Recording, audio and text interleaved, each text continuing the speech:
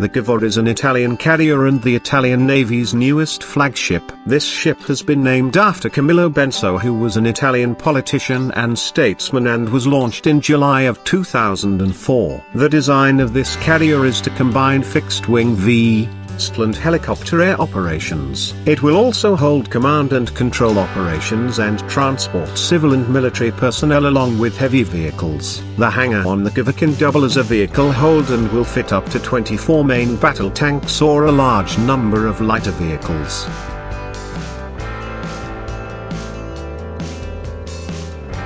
The USS America is the fourth warship from the United States and will be the first amphibious assault ship for the US Navy. Named for the country she supports, this ship was delivered in 2013 and replaced the USS Peleliu of the Tarawa class. Her role is to be the flagship of an expeditionary strike group or the amphibious group which will carry marines from the expeditionary unit into battle. The design of the carrier is based on USS Makin Island so she does not have a well deck which will allow for more room for aviation facilities.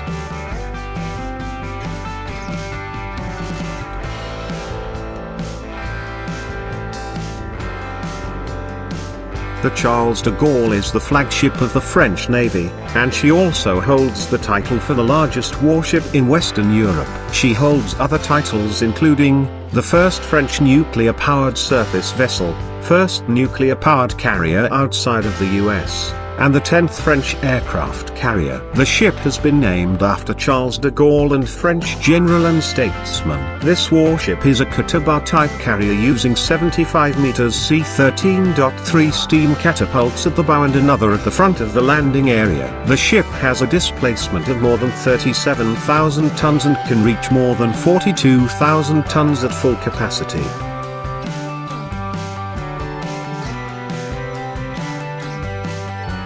The Liaoning is the People's Liberation Army Navy's first commissioned aircraft carrier. Classified as a training ship, the Liaoning was intended to make it possible for the Navy to practice with transport usage. This ship was originally the Admiral Kuznetsov in the Soviet Navy and launched their service in 1988. It was later renamed Varyag, the People's Republic of China purchased the stripped hulk of the Varyag and towed it to the Dalian shipyard in China. She was completely rebuilt and went through sea trials before being commissioned in 2012 and renamed the Liaoning.